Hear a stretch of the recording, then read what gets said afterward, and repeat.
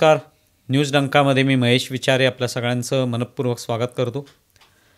मित्रांनो उद्धव ठाकरे गटाचे खासदार संजय राऊत यांनी एका वाहिनीला दिलेल्या मुलाखतीमध्ये जो काही प्रश्न विचारला त्यावर उत्तर देताना सांगितलं की देवेंद्र फडणवीस हे आमचे राजकीय विरोधक आहेत. ते काय आमचे दुश्मन नाही आहेत आणि आम्ही त्यांच्याबद्दल जे काय बोलतो ते व्यक्तिगत पातळीवर नसतं. त्यामुळे हा फक्त एक राजकीय विरोधाचा भाग असतो. देवेंद्र फडणवीस यांना मी त्या पद्धतीने विरोधक मानत नाही. देवेंद्र फडणवीस आमचे राजकीय विरोधक जरूर आहेत. याचा अर्थ ते दुश्मन नाही आहेत. आता हे विधान त्यांनी जे केलेलं आहे हे कितपत पटणारं आहे हा प्रश्न आहे. कारण जेव्हापासून दोन हजार एकोणीसला जे काय महाविकास आघाडीचं सरकार आलं आणि जो प्रयोग झाला त्यानंतर उद्धव ठाकरे मुख्यमंत्री झाले तेव्हापासून ते आजतागायत मग आता पुन्हा एकदा विधानसभेची निवडणूक होणार आहे. तर हा जो काही पाच वर्षांचा काळ गेलेला आहे या सगळ्या काळामध्ये कुठेही देवेंद्र फडणवीस आणि उद्धव ठाकरे यांच्यातलं नातं जे आहे हे फक्त राजकीय विरोधकांचं आहे असं कुठेही जाणवलं नाही.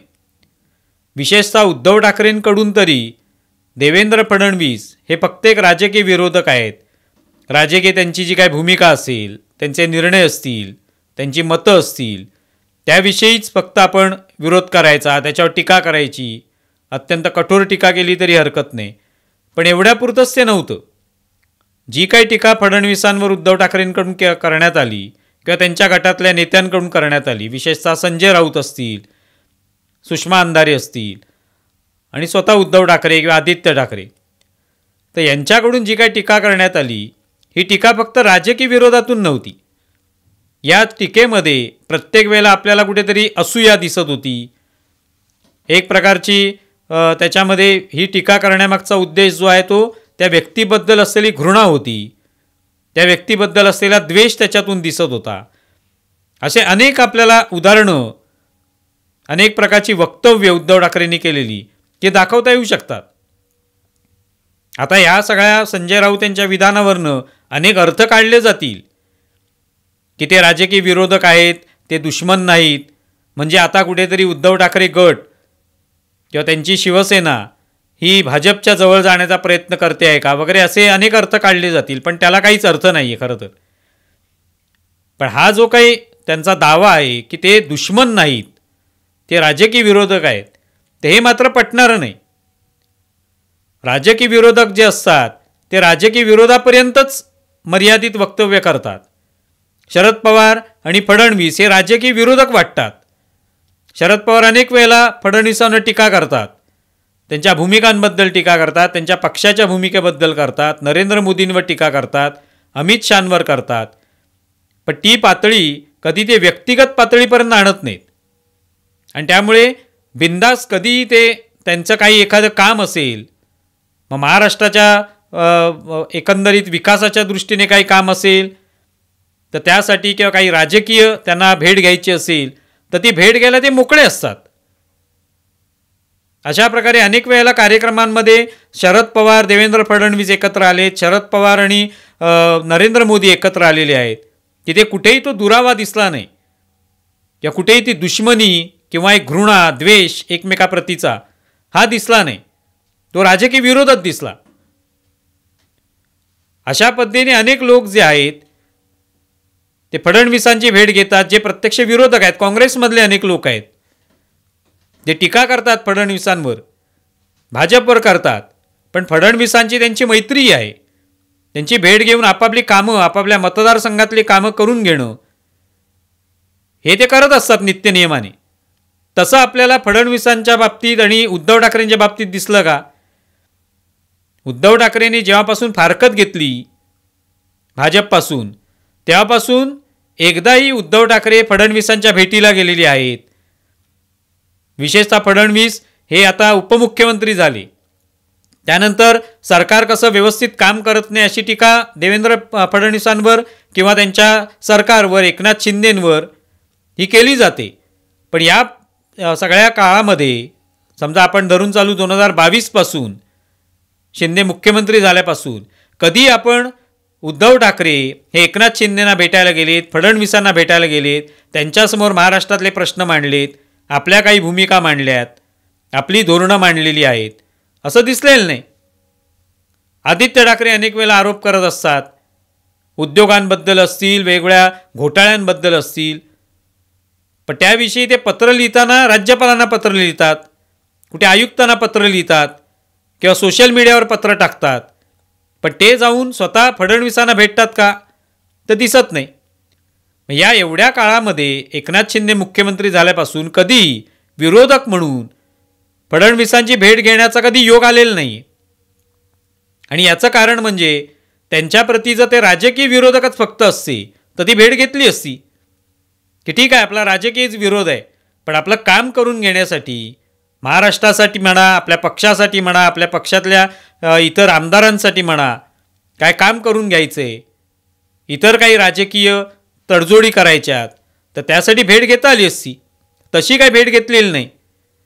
पण उलट उद्धव ठाकरेंच्या अनेक अशी विधानं आपल्याला देता येऊ शकतात ज्याच्यामधून फडणवीसांचा अपमान करणं. हाच त्यांचा मागचा उद्देश जो आहे तो वारंवार समोर आलेला आहे. आणि तो अपमान कोणाचा केला जाऊ शकतो? राजकीय विरोधकाचा अपमान केला जात नाही. त्याचा विरोधच केला जातो फक्त. पण अपमान कोणाचा केला असो त्याचा आपल्याला द्वेष वाटत असतो.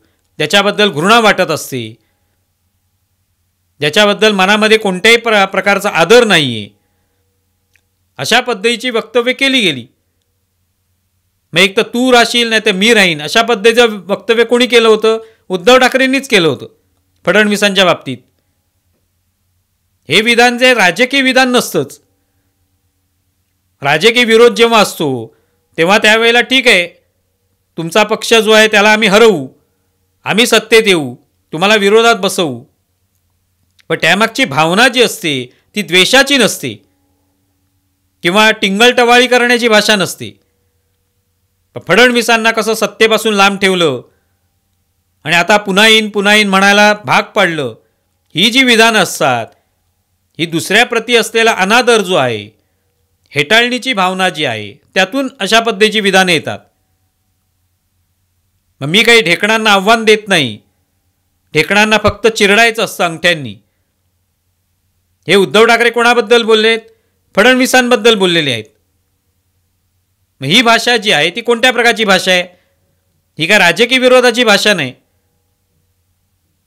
किंवा अशा पद्धतीने काहीतरी बोलायचं सभेमध्ये की लोकांनी तिथून आरोळ्या ठोकल्या पाहिजेत फडणवीसांच्या शरीर यष्टीवरनं आणि त्याच्यात मग स्वतः उद्धव ठाकरे काय म्हणालात काय म्हणालात असं विचारायचं लोकांना म्हणजे लोकांनी पुन्हा त्या पद्धतीने बोलावं. ही कोणत्या प्रकारची प्रवृत्ती आहे? याला काय राजकीय विरोधक म्हणत नाहीत. यालाही म्हणतात तो द्वेष असलेला. यालाही म्हणतात तुमचा त्या त्या व्यक्तीप्रती असलेली घृणा असूया त्याच्याबद्दल असलेली. हीच त्याच्यावरून दिसून येते. मग कधी केंद्रातले सरकारची दोन माकडं इथे महाराष्ट्रामध्ये आहेत चावी दिलेली माकडं किंवा चावी फिरवली की नाचणारी माकडं. ही उपमा कोण कोणाला देते? उद्धव ठाकरेच देत आहेत. एकनाथ शिंदे आणि फडणवीसांना अशा पद्धतीने ते उपमा देताना आपण पाहतो. ही उपमा जी आहे ती काय राजकीय विरोधाची नाही आहे ती दुश्मनी असल्यासारखीच ही विधान आहे. एकनाथ शिंदे हे इतकी वर्ष म्हणजे फडणवीसांसोबत आज ते असले मुख्यमंत्री म्हणून तरी इतकी वर्ष ते शिवसेनेमध्ये आहेत. उद्धव ठाकरेंबरोबर त्यांनी काम केलेलं आहे. पण आज त्यांच्याबद्दल कशा प्रकारची भाषा वापरली जाते? कुठे रिक्षावाला म्हणायचं कुठे दाढीवाला म्हणायचं कुठे त्यांची नक्कल करून दाखवायची. राज ठाकरेसुद्धा नकला करतात अनेक रा नेत्यांच्या. पण त्या करताना सुद्धा एक संयम असतो एक मर्यादा असते. फक्त एक त्याच्यातून विनोद निर्मिती होईल एक व्यंग दाखवता येईल एवढ्या पुरताच तो उद्देश असतो. ते कायमस्वरूपी त्यांच्याबद्दलचा द्वेष आहे मनामध्ये त्यांना हिणवायचे अशा पद्धतीची भावना नसते. पण ती मात्र फडणवीसांच्या बाबतीत वारंवार दाखवण्यात आलेली आहे. भांग प्यायलेली माकडं ही उपमा देण्यात आलेली आहे. फडतुणवीस अशा पद्धतीचा शब्द वापरण्यात आलेला आहे. हे कशाचं लक्षण आहे? हे काय राजकीय विरोधाचं लक्षण नाही. आहे तेव्हा संजय राऊत जे म्हणत आहेत की आमच्या दृष्टीने फडणवीस हे राजकीय विरोधक आहेत ते काही दुश्मन नाहीत. तर हे फक्त बोलायला ठीक आहे पण ते बोलताना ते कृतित्व यायला पाहिजे. कोणत्याही पद्धतीने कृतीत आलेलं ते दिसत नाही. त्यामुळे केवळ फडणवीसांबद्दल असलेला द्वेष घृणा त्यांच्याबद्दल असलेली दुश्मनी जी आहे तीच याच्यातून दिसून येते. आणि हे सगळं या सगळ्या कालावधीत सुरू झालं. आत्तापर्यंत आपण पाहिलं पूर्ण देशभरामध्ये असे अनेक मोदींचे विरोधक असतील. पण अशा पद्धतीची भाषा काँग्रेसकडून वापरण्यात आलेली आहे मोदींच्याबद्दल कुठे मौत का सौदागर म्हणायचं कुठे चायवाला म्हणायचं हिणवायचं याचं कारण काय? की आपल्याला त्यांच्याबद्दल कोणत्याही प्रकारचा आदर नाही हे दाखवायचं आणि लोकां लोकांनाही ते आवाहन करायचं की तुम्ही त्यांच्याबद्दल आदर दाखवू नका.